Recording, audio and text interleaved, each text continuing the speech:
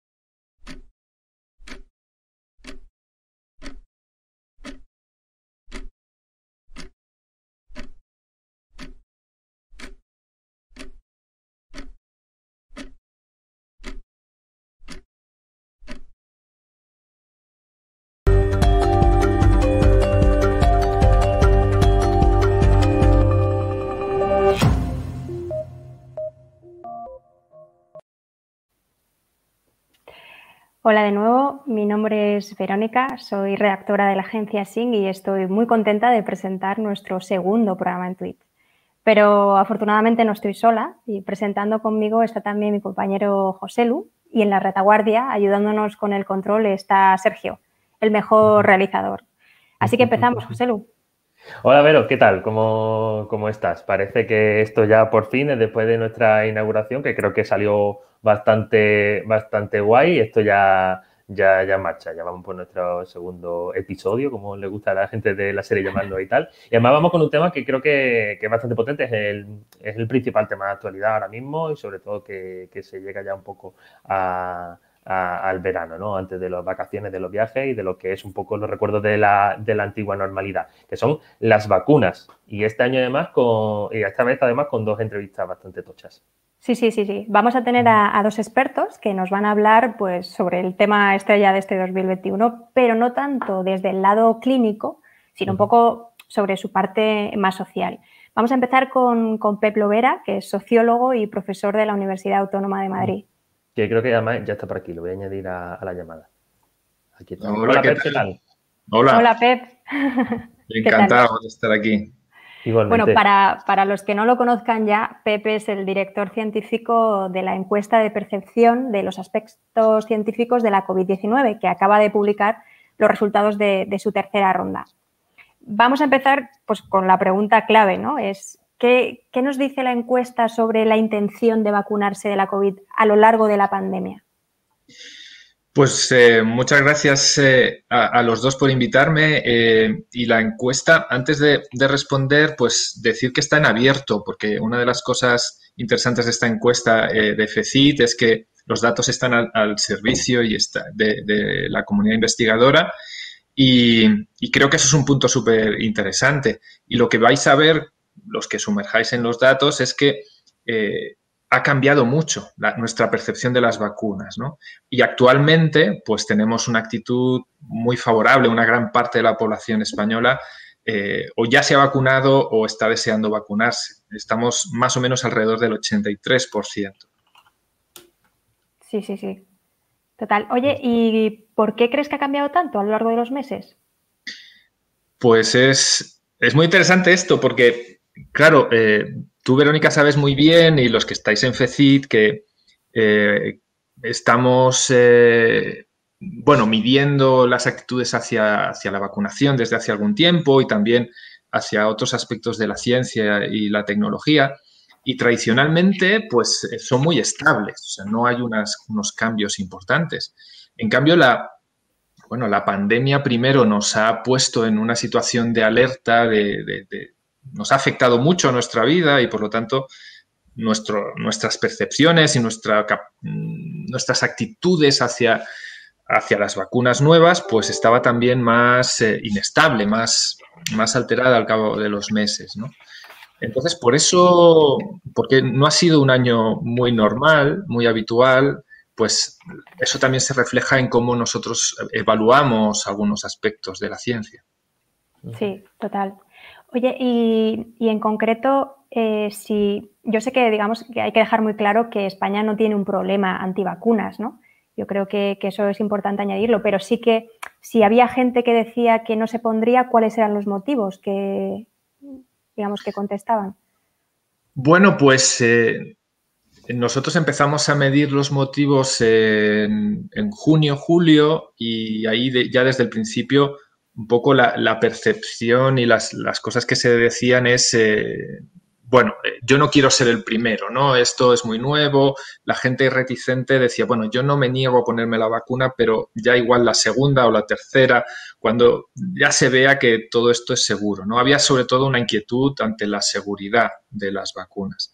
Y a medida que han ido pasando los meses, pues esas inseguridades o esas preocupaciones han ido disminuyendo, pero todavía en las personas, ya en, ese, grupo más pequeño de personas ahora, eh, en torno a un 15-17% que, todavía tiene alguna reticencia, pues eh, lo más frecuente es la seguridad y también, eh, como ya hemos aprendido, hemos hecho casi un, bueno, no sé, de un máster social en vacunología, ¿no? Pero ya casi todo el mundo tiene sus opiniones de la buena, la mala, esta sí, esta no, ¿no? Bueno, la gente reticente pues tiene diferencias en identificando alguna de las vacunas.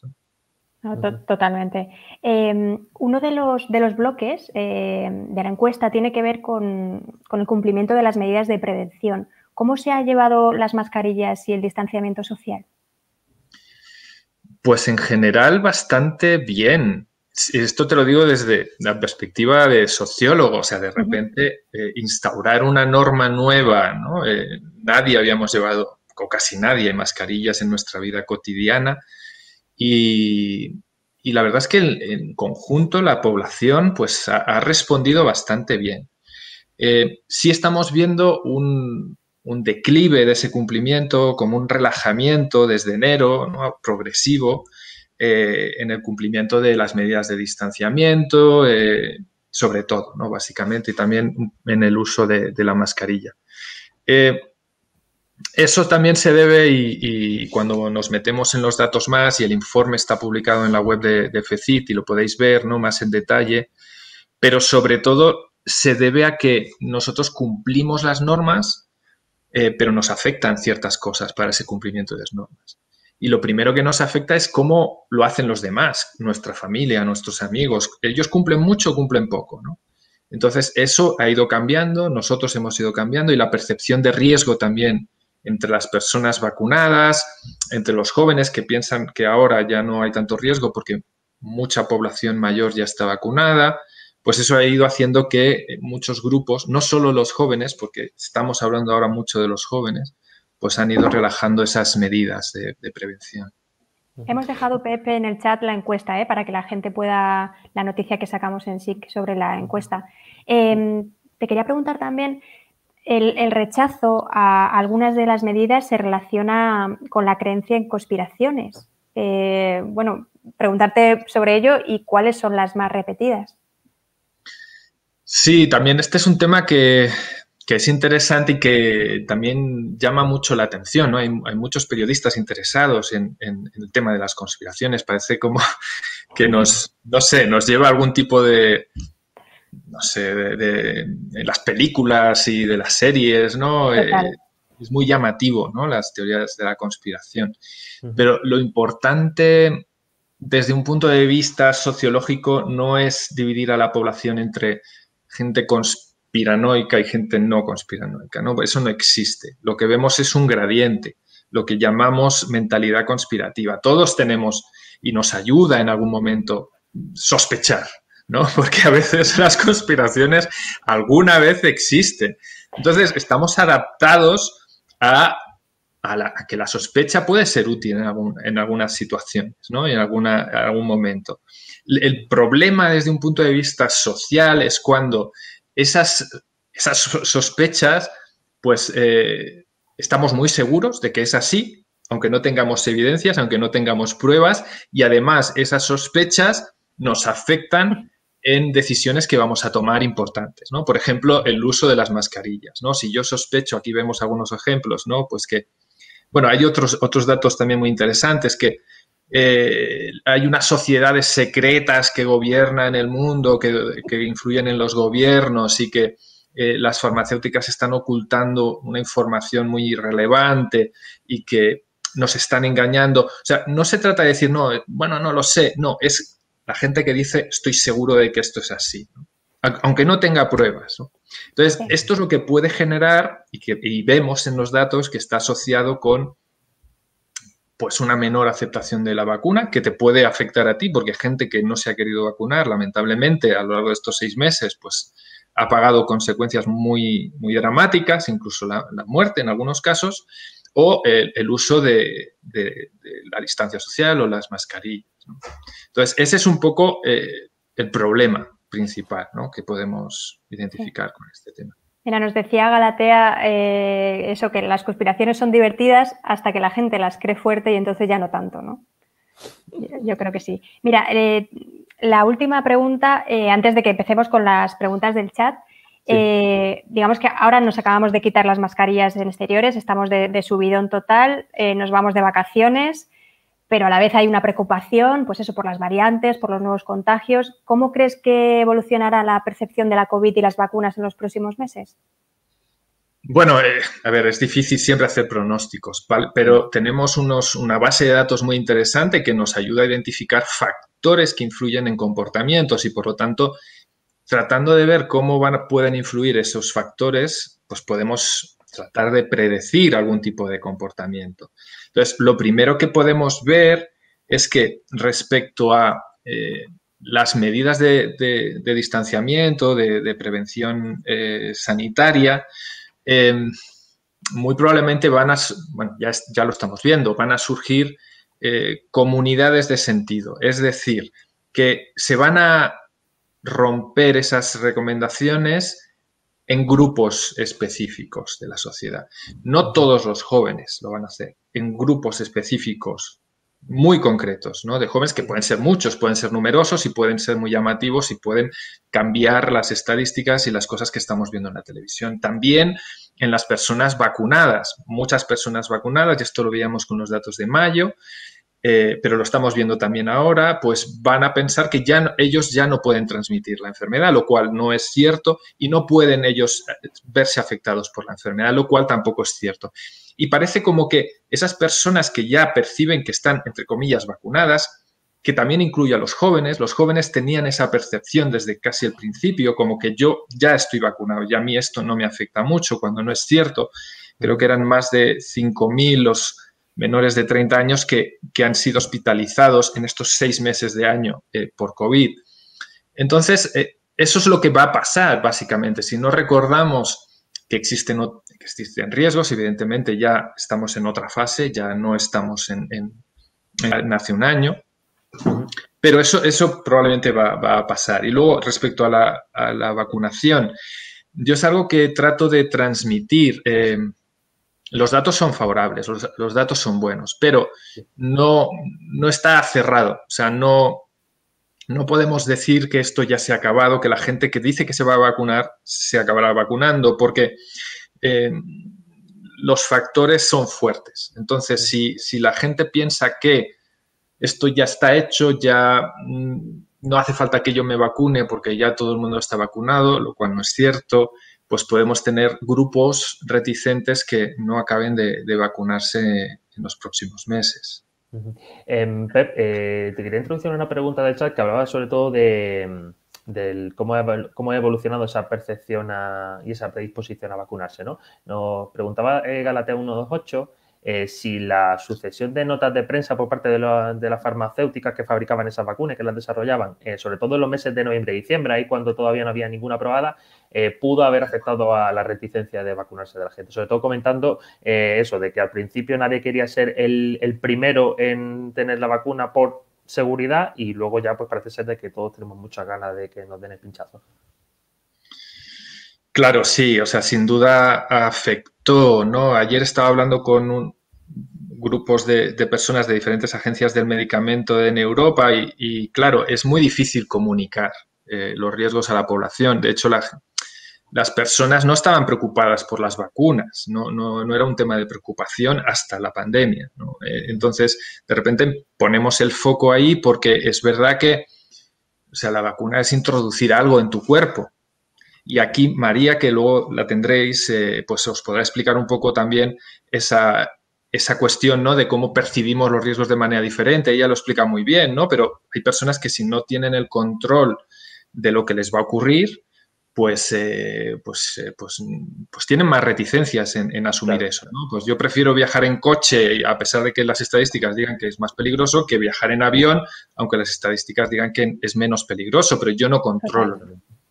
Entonces, sí que es verdad que eh, todo este proceso de, las vacunas ha sido muy complicado de comunicar y que esos comunicados a los que se refería Galatea y también eh, yo creo que hemos olvidado un poco, eh, casi inevitablemente, o sea que ha sido un año muy difícil, pero los intermediarios, hay, hay, grupos intermediarios muy importantes en la comunicación de las vacunas que son las sociedades científicas, biomédicas sobre todo, eh, que les tendríamos que haber informado mucho más eh, a tiempo real de las decisiones que se iban tomando en las estrategias de vacunación en los diferentes países, ¿no? Y también los periodistas de, ciencia y de salud.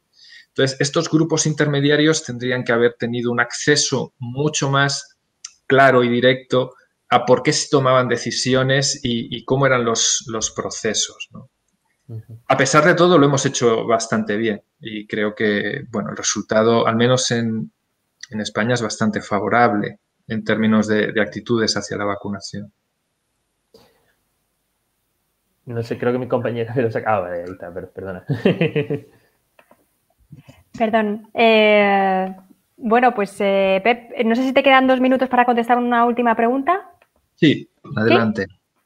Pues mira, nos preguntaba eh, Salmorejo que a qué porcentaje eh, se espera que lleguemos finalmente vacunados, si el 86%. bueno, pues no sé, podríamos hacer una porra, pero lo que... Como una quiniela esto. Claro, eh, a ver, lo que podemos con, con, encuestas es medir lo que ocurre hoy. Y esto cuando, cuando hacemos predicciones de participación electoral, por ejemplo, también intentamos decirlo muy claramente, ¿no? O sea, hoy podemos decir que tantas personas pues están dispuestas a vacunarse. En una situación normal, pues esas predicciones del 83, 86, pues se mantendrían estables. Yo quiero ser más prudente de lo habitual porque las fuerzas que intervienen en esa decisión de vacunarse son fuertes. Y es una, es una decisión dicotómica, o me vacuno o no me vacuno. Entonces, lo que estamos viendo ahora es el resultado de esa suma de fuerzas. El resultado de esa suma de fuerzas es positivo en el 83% de las personas. Pero como se modifiquen esas fuerzas, ese resultado va a ser diferente a lo largo de los meses. Y una de las fuerzas es lo que llamamos complacencia vacunal, es decir, ya no hace falta que me vacune, ya esto está controlado, ya no es tan grave la enfermedad ya me he puesto una dosis, ya no hace falta que me ponga una segunda. Ahí es donde podemos tener, bueno, pues eh, que todavía no está hecho, ¿no? El partido está en la prórroga, si queréis un poco el símil, ¿no? O sea, hay que, hasta que no llegas a los penaltis, no podemos saber cuál va a ser el resultado. Esperemos que mejor que el de, que el de ayer. Que el de ayer. Bueno, pues eh, Pep, ha sido un placer que nos hayas acompañado este ratito. No queremos quitarte mucho más tiempo y, bueno, pues eh, eh, eso, lo dicho, seguiremos hablando de vacunas. Muchas gracias por venir, Pep. Gracias a vosotros. Hasta luego. Hasta ahora. Bueno, y ahora seguimos hablando de percepción y confianza en las vacunas, José Lu.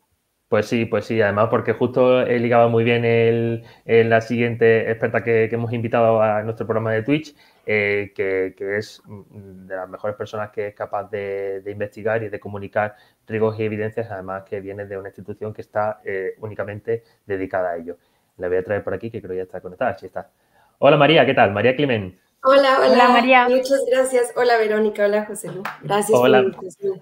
Hola María, encantado de que estés con, nosotros. María Climent, para los que no, la conozcáis, es eh, periodista científica, creo que además tengo aquí justo el, el banner, periodista de ciencia, eh, e investiga eh, cómo se comunican las evidencias, los riesgos y la incertidumbre de, manera comprensible. Además, trabaja en el, Instituto Winton de, Comunicación de Riesgos y Evidencias, que es un organismo que depende de, la Universidad de Cambridge.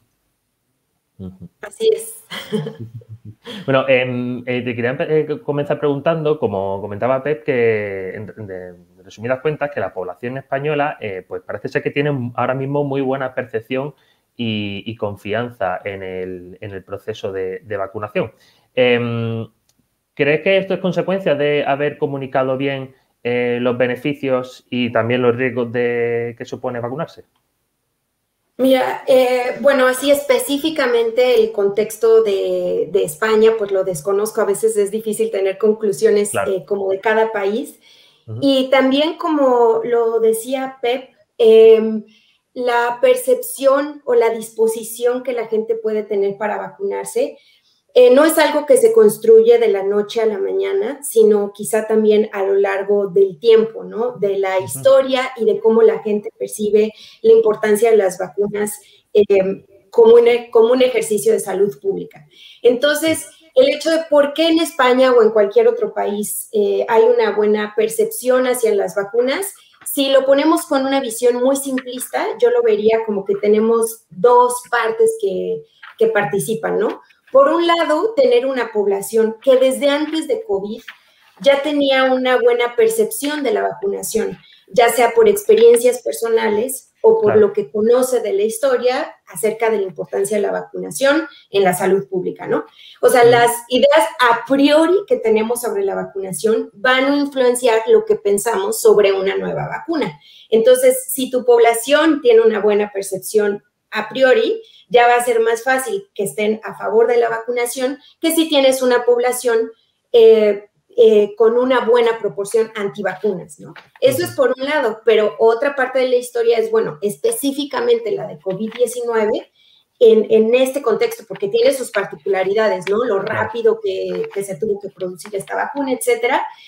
Pues no, no puedo establecer así una conclusión inmediata, directa, pero eh, sí, sí podemos eh, intuir, digamos, que parte del éxito de estar dispuesto a vacunarte tiene que ver con un buen ejercicio de comunicación de riesgos y beneficios, donde a la gente le ha quedado claro que al establecer esa balanza del el potencial daño y el potencial beneficio, es mucho mayor el beneficio que el daño potencial. Entonces, eh, yo sí pensaría que eso es parte del éxito de la disposición de la población para vacunarse.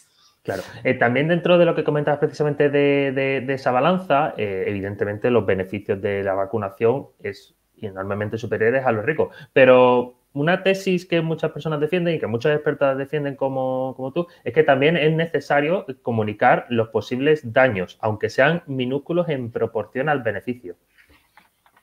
Totalmente.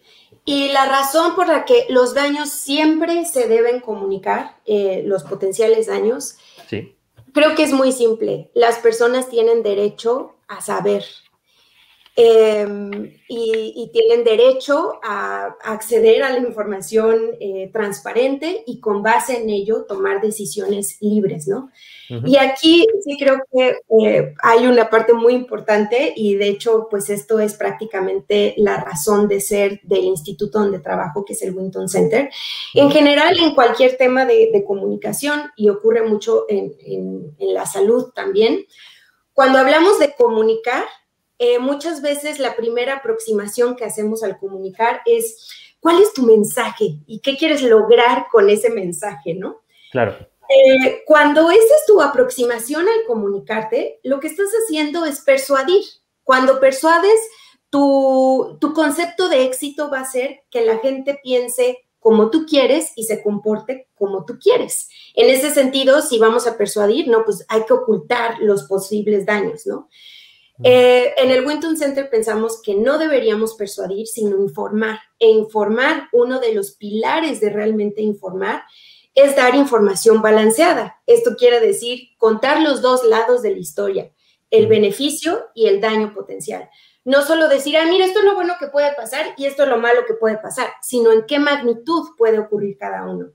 Y dar esta información balanceada incluye ser transparente con los potenciales eh, daños.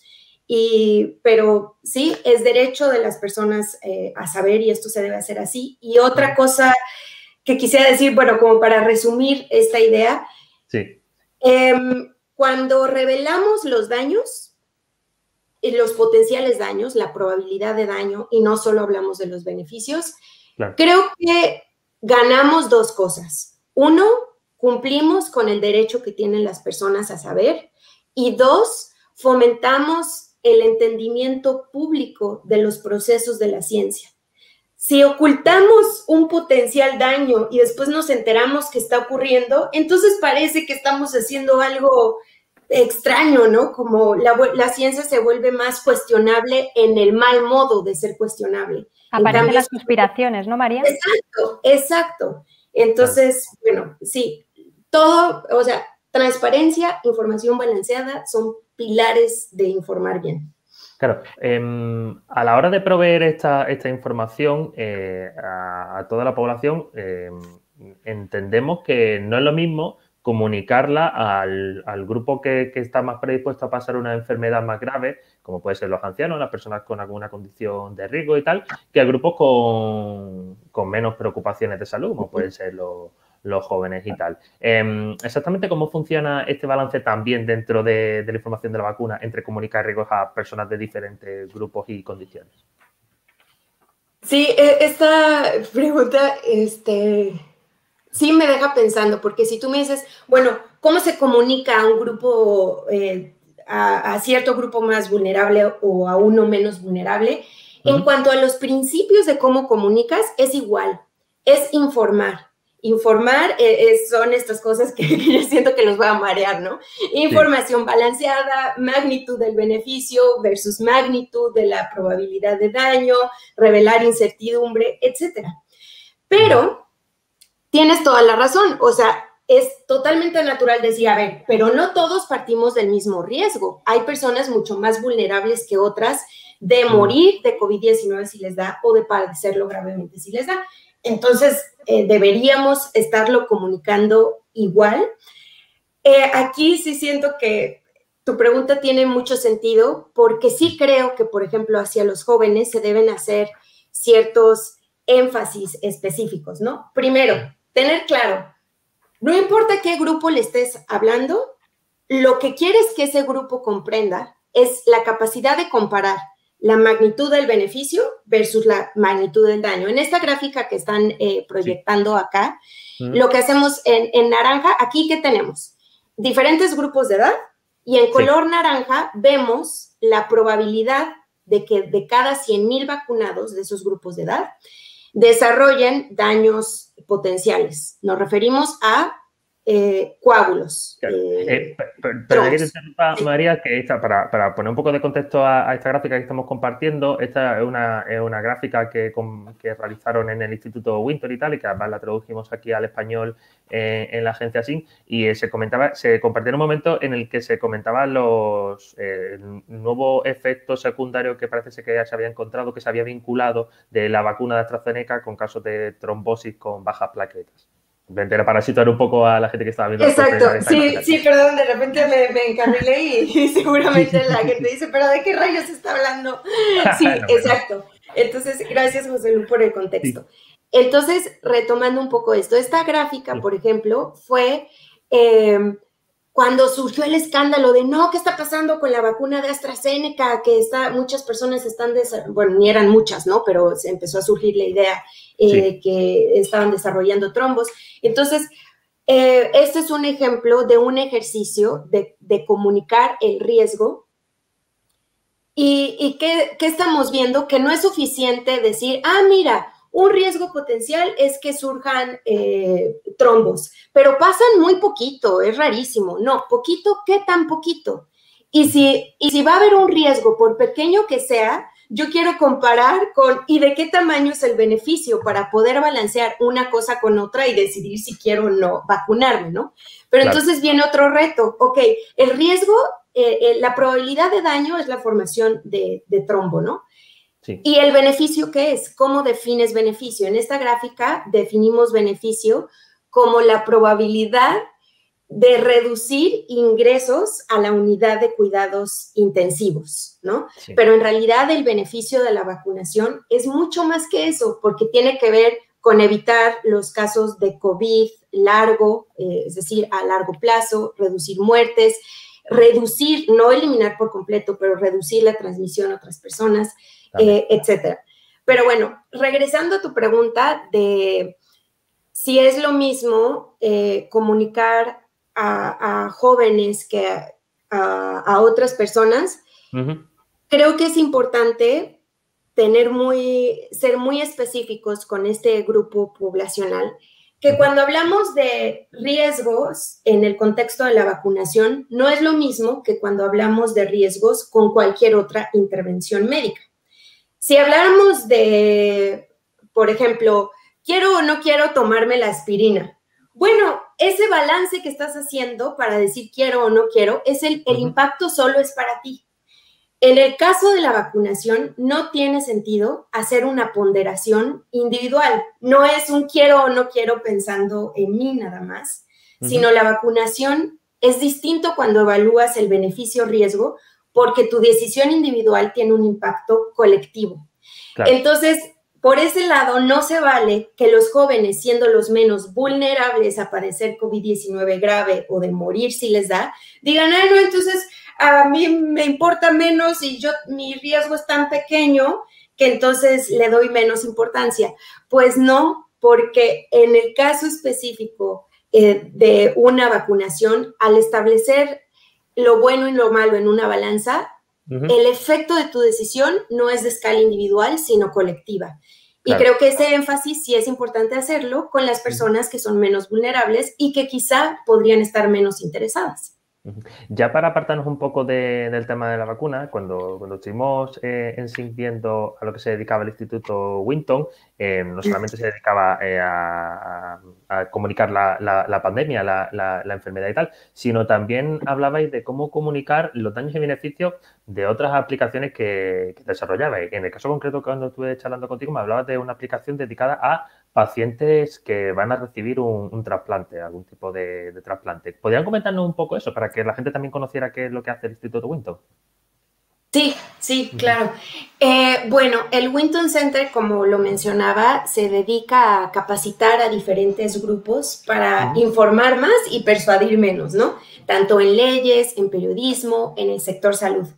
Sucede que en el sector médico, eh, tristemente, todavía predomina una visión muy paternalista de la relación entre médicos y médicas y pacientes. Esto es, eh, los doctores lo saben todo, yo te digo qué hacer con tu vida, yo te digo qué tratamiento tomar y los pacientes depositan confianza absoluta en las decisiones que los médicos toman por ellos.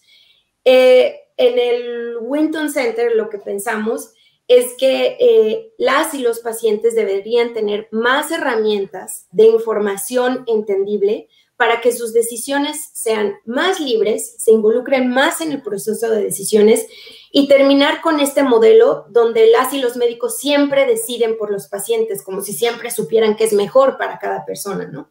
Claro. En uno de estos intentos es específicamente en el terreno de trasplantes. Eh, hacemos investigación en personas que son candidatas para tener trasplante de riñón o de pulmón. Entonces, imagínense, la persona tiene que decidir, quiero o no quiero tener un trasplante de pulmón. ¿Cómo decide esto? Son muchas cosas las que se involucran en el proceso de tomar una decisión así, pero uno de los factores que influye es, ok, si me hago un trasplante de pulmón, ¿cuál es mi probabilidad de seguir, dos, seguir vivo dos años después? ¿Cuál es mi probabilidad de seguir vivo cinco años después? Con base en eso, exactamente, la persona eh, tiene más información para decidir, bueno, ¿quiero pasar por lo que implica un trasplante o prefiero aceptar que voy a vivir menos sin someterme a lo durísimo que es pasar por un trasplante de pulmón?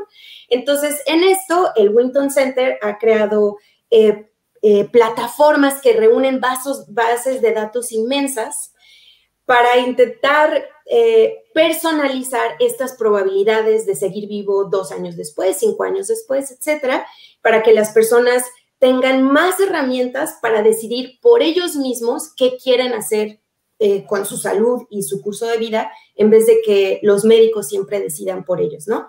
Entonces, sí, este proyecto es específicamente en el tema de trasplantes, pero lo estamos haciendo también para cáncer de mama y cáncer de próstata. Oye, María, tenemos algunas preguntas para ti del chat. Voy a empezar con, la que nos hace Salmorejo y nos pregunta si comunicar el beneficio de la inmunidad de grupo funciona o no. Eh, ay, mira, empezaría a mentir ahorita. No, no hemos hecho ningún estudio del beneficio de comunicar la inmunidad de grupo. Sería algo interesante como la inmunidad de rebaño, ¿no? Supongo que, se refiere. Sí, sí. Eh, eh, hasta ahorita en el Winton Center no hemos evaluado específicamente ese punto, entonces este, lo desconozco, perdón. No, no, no, no. Si al final eh, nosotros te transmitimos las preguntas que hay. Sí. A ver, teníamos más.